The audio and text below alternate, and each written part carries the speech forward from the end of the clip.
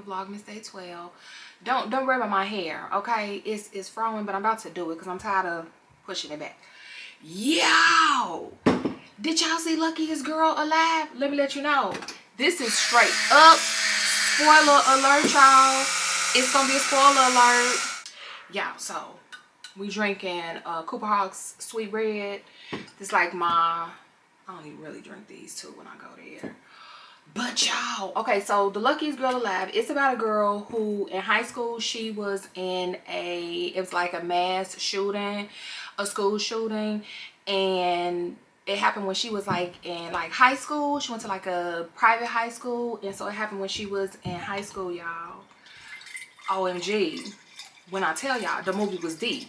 So the movie, it was, it was really, really about how easily women when we go through being raped she was raped. Girl went to a party she got drunk and she got raped.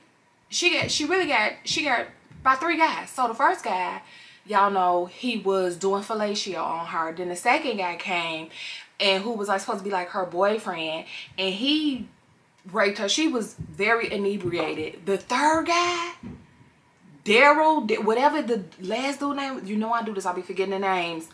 He raped her, raped her. Like she was, she was fighting him off for everything.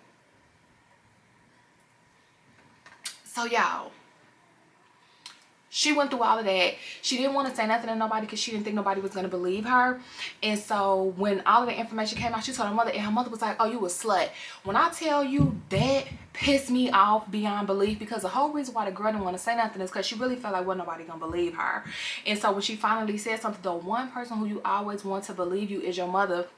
And her mother flat out did not believe her and called her a slut and all that was like basically like you a hoe. You you didn't get raped. You slept with them guys because you was a hoe. But sis did get raped. Now the whole premise of the movie like they were saying do you feel like she was a part of it or do you feel like she was a victim? She was 100 percent a victim. She was 100 percent a victim. So she went through her whole life holding this information in because she knew that wasn't nobody gonna believe her. So the dude what was his name?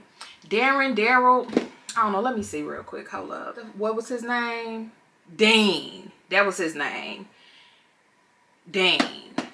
Dean and his ass beat. So Dean was the one that, Dean was the one that like brutally raped her. They all took advantage of her. But Dean was the one that like brutally raped her. Then this motherfucker had the nerve to when it was all over when he got older, this motherfucker like, I wanted to get ahead of the story. So he went loud on the girl, said that she didn't, that um, she, he didn't rape her, that she was basically being a hoe and she was helping the shooters kill everybody. So he came out with this whole sensationalized story. This girl done lived her whole life scared to tell her truth because she didn't think nobody was going to believe her. This is a, a straight up case of when somebody has more power and more money, like when a family has more power and more money than the other person, it's almost like it kind of outweigh the other. Just like that dude, that swimmer dude, I forgot his name because we ain't giving him no clout. It's like that, where they tried to basically make it seem like okay well you asked he tried to make it seem like okay you asked for this and so that's that's why it happened. And tried to make it seem like instead of her being a victim like she was the one who helped all because his ass got shot and he was in a wheelchair. Now rewinded Dan was in the school fucking with everybody. Fucking with everybody. What, what was that boy name? So it started when was it Liam I don't know. It was one of them. It was one of them. So one of the boys, um, he went to like the woods or something like that. I don't really remember y'all, my bad. He went someplace, they, he thought that Dean and them was his friend. So they went out there and, and two of Dane's friends pinned him down and Dane took a shit on his chest. Like what kind of, what? Who does that? Like Dane was, Dane was very deviant. And so the dude didn't say nothing about it because again, he was like, you know, they ain't got power. They not gonna believe me. And who the hell want to go and tell somebody like a student had two other of his friends pin me down in the fucking woods and took a shit on my chest. Like nobody is really finna try to come out with that information. So he held it in. So the dude who was friends with Anna uh, Tiffany and the other dude, his name was, where his picture at? Y'all know I'm not good. So his he was Arthur in the uh in the in the thing. When I tell you this movie had me so it's very triggering. And I never been through none of this, but I just know how society really will go against the girl to favor the guy, especially if the guy is somebody who they deem to be of more importance than the girl. Like she got into the she got into the private school on a scholarship that was only made available to like lower income families. And so she got the scholarship and she was able to go to this prestigious um, private school. So arthur was the one that was pushing both of them to tell they like he like man listen he he did this to this guy and then he he legit raped you. He raped you got you so scared to say anything. Now what was crazy was the dude who because i gotta go back to this the dude who was like supposed to be her boyfriend, I believe it was either Liam or Peyton. I don't know, these motherfuckers, they, they look alike in these pictures. Um, the backgrounds are similar. But they was all like after the party.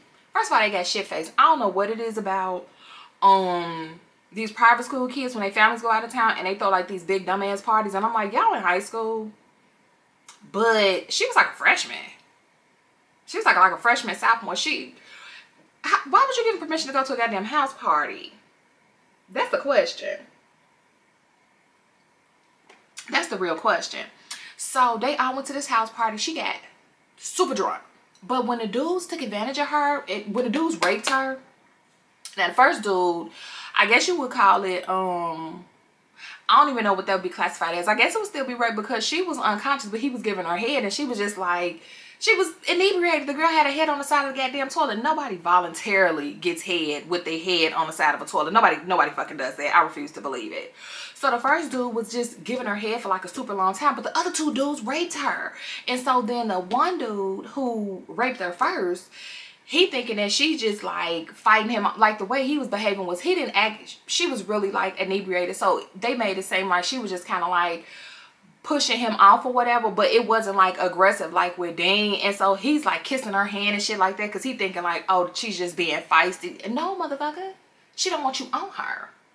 But after the party they was all acting like wasn't none wasn't nothing wrong. The dude who was her boyfriend was still being her boyfriend and all of that stuff and he knew that Dean raped her.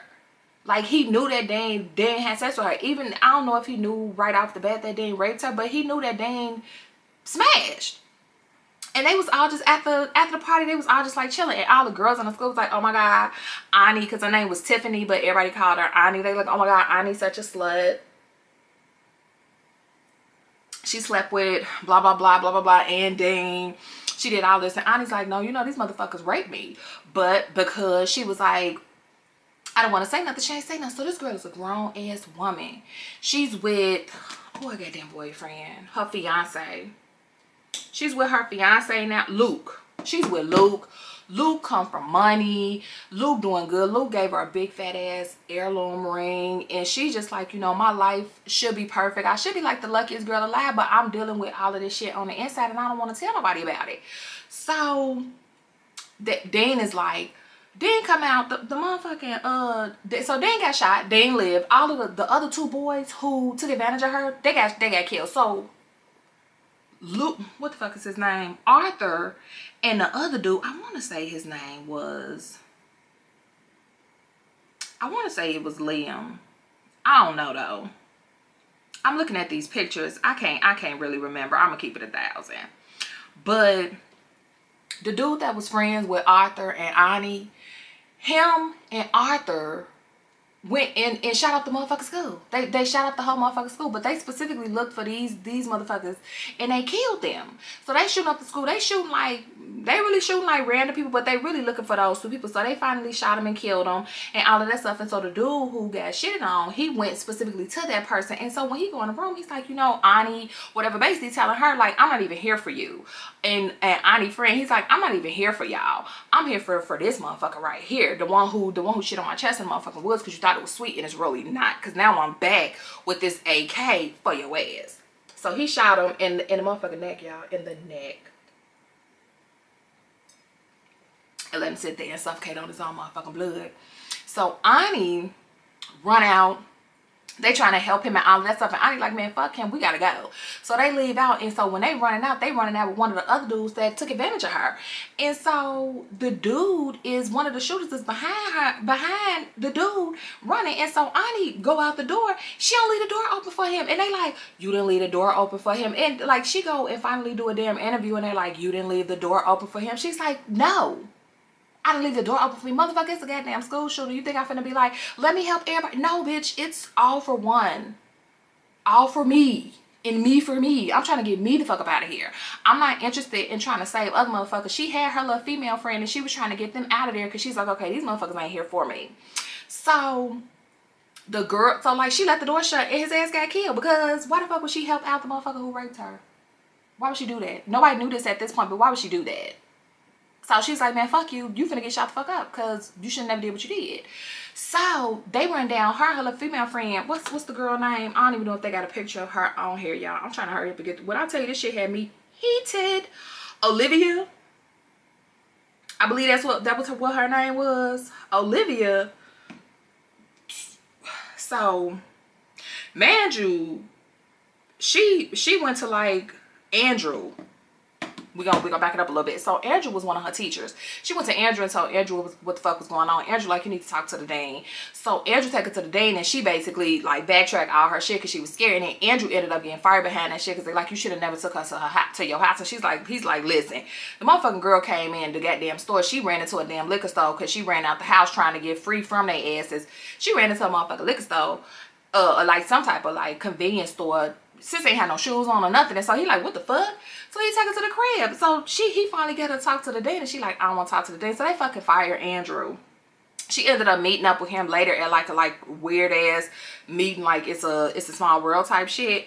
But anywho, let me go back to the thing. So the girls, um, Ani and Olivia, they run down to the cafeteria because they trying to get the fuck up out of there. So when they run out of the cafeteria, Arthur comes in. Now, we don't even know Arthur is a part of this shit. We don't even know that Arthur is a part of the motherfucker shooting. At first, we just thought it was that one boy. The boy that got shitted on. I want to say his name was Liam, but I don't really remember. I just saw this movie today, y'all, and the shit just floored me. So Arthur come in. Arthur got another motherfucking AK-47. I don't know where these motherfucking kids get these AK-47s for. I still be, I still be at all when I hear about these goddamn high school, grammar school kids with getting their hands on AK-47s. That shit is crazy to me. So Arthur come in with another AK-47. Dean is on the ground at this point because Dean already got shot by the other damn dude. Other dude just shot his ass, left, left his ass there. So Arthur, so okay, before Ani and them ran up out the library when uh, the other dude came in and shot the other dude that was fucking with her, like one of the three dudes that was fucking with uh, Ani, Ani grabbed a knife out of like some, she found a motherfucking knife somehow. I forgot how she found that motherfucking knife, but she was like rummaging through drawers and shit. I don't know if they was like in like a science lab or some shit like that. I don't recall. But she grabbed a knife up out of there. So they get to the cafeteria whatever. Arthur come in with, with a whole motherfucking AK-47. And he like, yeah, bitch, I'm part of it too. And so she's like, oh my God, Arthur, are you fucking serious? You up in here shooting motherfuckers too? So Dean is on the ground. He done already been motherfucker shot. Dean over there mumbling and shit because he, you know, he got shot with a motherfucking AK-47. I can't believe he was even alive because that shit's crazy. So Arthur hands Ani the gun and she's he's like, this motherfucker that raped you, so I know that you want to fucking shoot him and put his ass out of his misery. Who the fuck gonna know? So he hands Ani the gun and Ani is like, I really want to shoot the shit out of him. I really do. So she take the gun and all of that shit and she's contemplating. But at the end of the day, she ain't built like that and I get it. I get it. So Arthur ends up snatching the gun from her and Arthur shoots the shit out of him. That's how he ended up being paralyzed because he didn't die, but he got paralyzed. So after that, it was almost like Arthur was disgusted with the fact that she didn't even want to kill him. And it was like Arthur was getting mad, like Arthur was finna kill Ani. So Ani pulled the knife out and stabbed the fuck out of Arthur, stabbed him in his motherfucking, oh, girl, y'all, right here. Stabbed his ass, held that motherfucker in there. He fell to the ground, all of that shit, and he died. He was looking at her hella confused. Because he's like, bitch, you gonna kill me, but you ain't gonna kill the motherfucker that raped you? It's getting coward. That's what he was thinking. That's how he was looking. So at this point, we can all surmise that Ani was not part of the shit. If anything, she helped this motherfucker out because, what this shit say? Poor menace, don't do that. So, if anything, she was trying to help his ass out because Arthur was gonna fuck around. She was saving herself because Arthur looked like he was about to shoot the shit out of her. So, Ani is a writer and all of this stuff for like some shit in New York, something like paper in New York or whatever. So she putting her stories in and stuff like that. She doing like little bullshit ass stories or whatever. And so her boss is like, well, you know what? You got into New York Times or some shit like that. And you know, you, you could get to, you get to move to New York. But her husband's like, bitch, we going to London. We finna, we finna hop on, hop on that motherfucking plane and do some in, intercontinental uh, type shit. Like, bitch, we're going out the country. We're finna move to London. Why you think you finna do some New York shit? You're not finna do no New York shit, bitch. We're going to London. So she's like, okay, all of this shit is going on. So the dude keep asking her, what's the dude name? What is his name? Aaron. Aaron was like a reporter. So Aaron was coming to her and Aaron was like, listen, Darren want to talk to you. What is his name, Darren? Dane, my bad.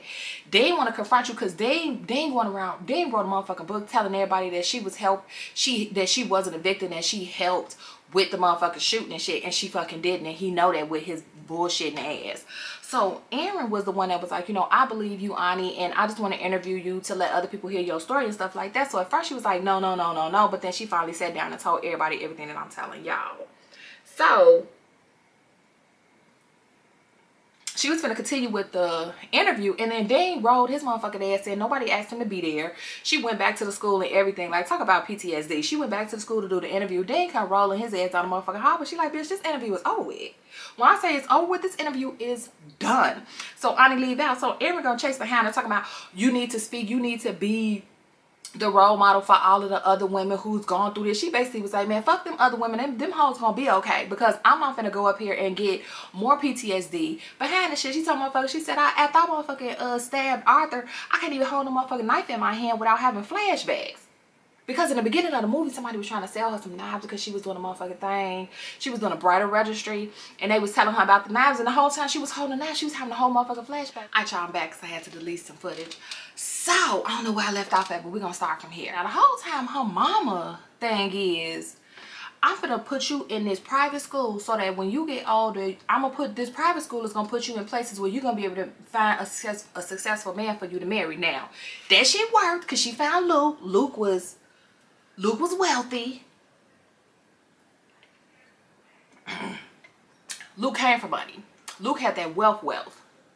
So, um, so that part worked. So Ani grew up. She with the with the who I don't know who she was writing for, but she was like writing for somebody, whatever. She was like a publisher writing little bullshit ass stories like about orgasms and stuff like that. Like nothing to to really be like, yes.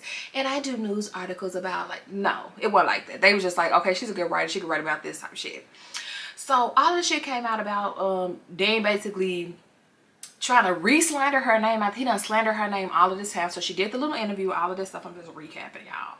So she did the little interview and all of that stuff. So this whole time, once she once uh Ani gets with Luke, her mama is basically just like there for the ride. Cause she's like, you know, twas not for me. You wouldn't even been put in this position to find you a wealthy man. So I'm I'm I ain't getting off this train. I'm not getting off this fucking train. So Ani was pretty much over because at the root of everything, Ani knew that the person who she was wasn't really the person who she was. Ani was a bit of a rebel she had a bit of a temper and she was a bit of a rep. So Dane had a book sign and he, you know, he in a wheelchair and shit. So Dane had a book sign and Ani showed up to the book sign and they in the motherfucking library and shit.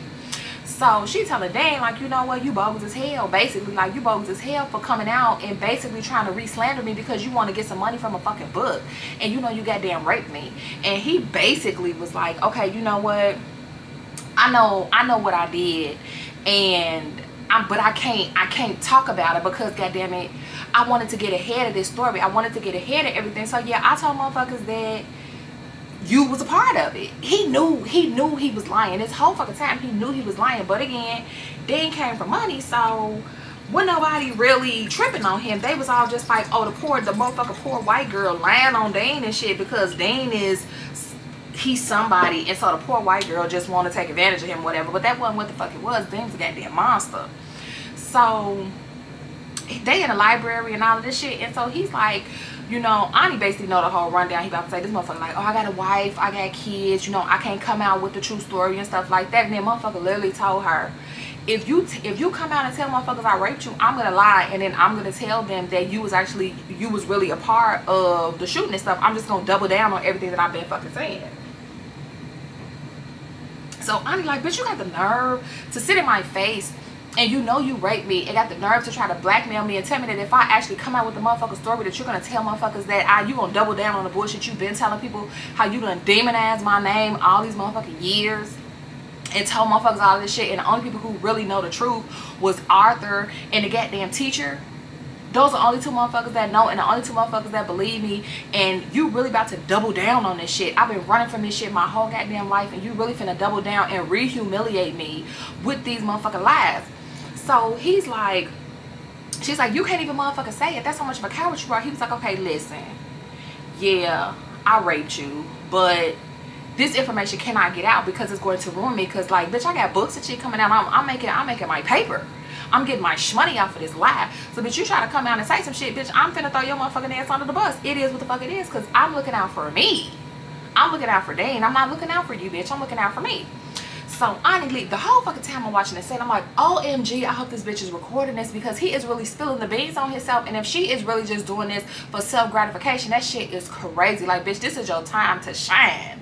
You, you, you motherfucker write newspaper articles, so bitch, you should know how this works. Baby, she left up out of there. Deems down there uh, uh, signing them books. Ani pulled out her motherfucking ear, earbuds she pulled out a motherfucking iPhone. I didn't recorded the whole goddamn conversation. I said, bravo, bitch, because I just knew you didn't let this time pass. So Ani went to her publisher, uh, her boss or whatever, and so she's like, I wrote a story. So Ani goes and writes a paper, like she writes an article. She takes it to her boss and she's like, listen, I wrote this article. So her boss read it because she's like, I'm not going to New York. I'm just going to go to London with my fiance. Like, we're going to be married. I'm just going to go and be wealthy with him. And I'm going to put all this shit behind me. But she wanted to, like, write a little bullshit ass article about it. Like a bullshit ass, excuse me, like a bullshit ass piece about it. So she gave it to her boss. And her boss, like, bitch, what the fuck is this Trump? Like, what the fuck is this Trumped up ass shit? Like, bitch, this ain't even this bedtime ass story, bitch, like this, you want to talk about it, talk about it. She told her, write about this shit like nobody gonna read it. That's how that's how the fuck you write. You don't write knowing that motherfucker gonna read it. You gonna write it like nobody's gonna read this shit. If you gonna talk about it, bitch, talk about it. Fucking talk about it. So she went back to the drawing board and Ani talked about it. Ani talked about it. Her boss called her up. So that's the bitch. New York Times picking up your shit, bitch. You finna you finna get that paper you finna get that motherfucker paper, bitch. So she like, Dane, let me talk to you. So she take Dane outside. She telling Dane, she like, you know what, I did this. So she played the recorder for Dane. And Dane like, bitch, I thought, I thought you was past this shit. I thought you was basically like, I thought you was past the rape, bitch. I thought you wasn't gonna talk about this shit no more, bitch. You embarrassing me. Letting motherfuckers know I'm marrying a bitch that got raped. Like gang raped and shit on on three separate occasions in one motherfucking night. Like, bitch, you embarrassing me. I thought you weren't gonna talk about this shit no more. She like, niggas, you for real? And then like, bitch, I'm dead ass. I'm dead the fuck ass. Like, bitch, you, why would you put this shit out without talking to me first? Like, why would you put this motherfucking story out without talking to me first? So she's like, bitch, I know you, I know you fucking lying after I had to build up all of my fucking guts in the universe to actually put my story out, motherfucker, you over here chastising me, telling me you supposed to be over this shit. You, yo, your motherfucker, that you got raped in high school, bitch. You a grown ass woman. Why you still tripping on that?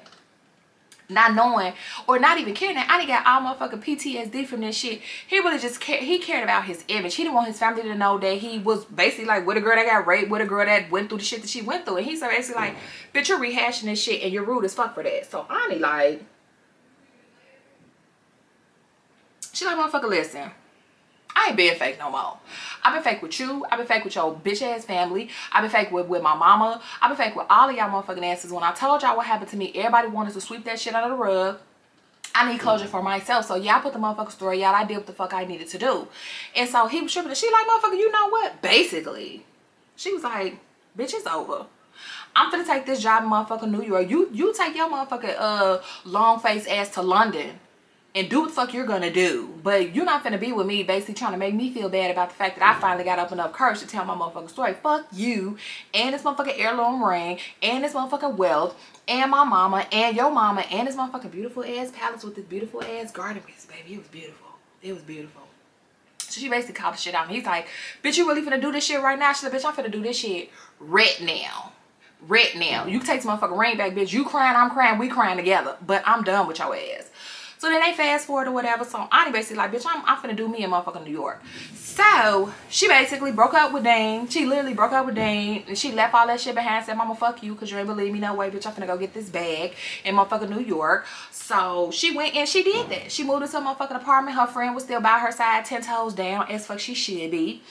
And Ani went and did her own motherfucking thing. So Ani walking down the street one day. This is the end part. This is really like a petty part. So motherfucking bitch who fuck with Dane, like dealt with Dane, like she like worked with publishing or whatever. She's like, oh, I hope your 15 minutes of fame gets you noticed. So she's like, Dane did so much good work and then you coming over here basically telling the truth on him, bitch. Because you know, it's always a motherfucker who regardless of what they did, regardless of what somebody did, they always still want to take their sides. Motherfuckers a goddamn rapist. He's a goddamn rapist. He better be glad he fucking survived that shooting and all his ass was motherfucking uh, paralyzed because his ass could have been D-E-A-D. Okay? D-O-A, like a lot of them other motherfuckers was. And in the end, she chose her. And I'm always all about choosing me. I said this was a good ass movie. I wasn't even expecting this movie to be this good. It was a good ass movie, y'all. It was